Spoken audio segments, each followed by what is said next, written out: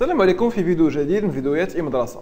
في هذا الفيديو نشوفوا بعض التطبيقات في إطار درس الدوال الأسية ونطلب منكم نحلوا في R المعادلات التالية. المعادلة الأولى ln ديال 2 exponentielle x ناقص 1 يساوي 2 x. المعادلة الثانية exponentielle x ناقص جذر exponentielle ديال 2 x ناقص 2 ناقص 1 كتساوي صفر. وأخيرا نحلوا في R المتراجحة اللي كتبان لينا أمامنا في الشاشة. بالنسبة للمعادلة الأولى كنطلب منكم تاخذوا مهلة زمنية ديال دقيقتين تحاولوا تجاوبوا عليها في الوسخ ونشوفوا جميع الجواب ديال هذا السؤال. اذا أول شيء كنبدأو به كنسميو دي واحد مجموعة تعريف معادلة ونسميو إس واحد مجموعة الحلول ديالها. بصفه عامة في المعادلات خصني نعرف الإطار اللي خصني نحل فيه هذه المعادلة هذه يعني مجموعة التعريف. اذا x كتنتمي ل D يكافئ ماذا؟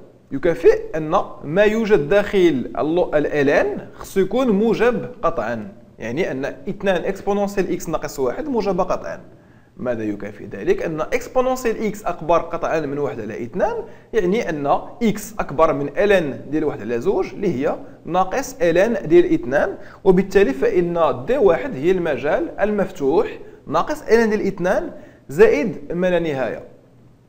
اذا دابا دابا فاش عرفت شنو هي D 1 ما بقى لي إلا نحل المعادلة ديالي يعني خصني نحدد شنو هي S واحد. لذلك x كتنتمي ل S واحد يكافئ ماذا؟ ln ديال 2 exponentielle x ناقص واحد يساوي 2 x إلا دخلت بال exponentielle في هذه العبارة هذه أش غنلاحظ؟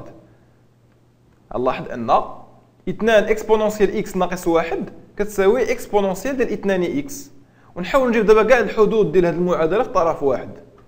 تولي عندي المعادله التاليه exponentielle ديال 2 x ناقص 2 exponentielle x زائد 1 كتساوي صفر. وكنعلموا جميع أن exponentielle ديال 2 x هي exponentielle ديال x. الكل أس 2 هذه الخاصية هذه نطبقها الآن باش نحصل على المتطابقة الهامة. exponentielle x ناقص 1 الكل مربع كتساوي صفر. اذا آه، إلا كانت عندي هذه المتطابقة الهامة معنى تاعها هي أن exponentielle x كتساوي 1 وبالتالي فإن الحل الوحيد ديال المعادلة ديالي هي x كتساوي صفر. غنكتب إذا S واحد هي الأحادية صفر. نمر الآن المعادلة الثانية exponentielle x ناقص جذر exponentielle 2 x ناقص 2 ناقص واحد يساوي صفر. بحال اللي حلينا المعادلة الأولى كنتبعوا مرة أخرى نفس المراحل.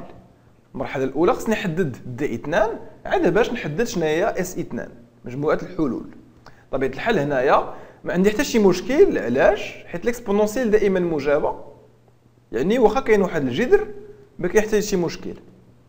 معنى تاع ذلك هي أن D 2 نقدر نكتب أن D 2 كتساوي R يعني نقدر نحل في R المعادلة 2 اذا إلا بغيت نحل بنعرف الآن الحلول ديالها x كتنتمي ل S 2 يكافئ. exponentielle x ناقص جذر exponentielle 2 x ناقص 2 ناقص 1 كتساوي صفر. ماذا يكافئ ذلك؟ أن exponentielle x ناقص جذر exponentielle x ناقص 1 الكل أس 2 علاش؟ حيت عندي exponentielle 2 x ناقص 2 هي exponentielle ديال 2 عامل لي x ناقص 1 اللي هي exponentielle x ناقص 1 الكل مربع. هذه الخاصية هي اللي طبقتها الآن.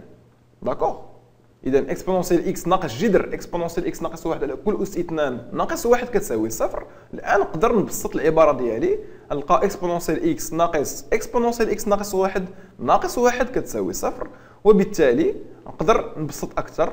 exponentielle x ناقص exponentielle x على e كيساوي 1 وغنعمل الآن exponentielle x عامل لي 1 ناقص 1 على e كتساوي 1 النتيجة هي أن exponentielle x كيساوي 1 على 1 ناقص e وكنستنتج اذا دخلت ب ln أن x كتساوي ln ديال e على e ناقص 1 يعني أن مجموعة الحلول ديالي هي الأحادية ln ديال e على e ناقص 1 نمر الآن للمتراجحة. ln 3 exponentielle x ناقص 5 أكبر من 4 كتسميو دائما D 3 مجموعة التعريف ديالها و S 3 مجموعة الحلول ديال المتراجحة. x كتنتمي ل D 3 يكافئ ماذا؟ ما داخل ال ln خصو يكون موجب قطعا.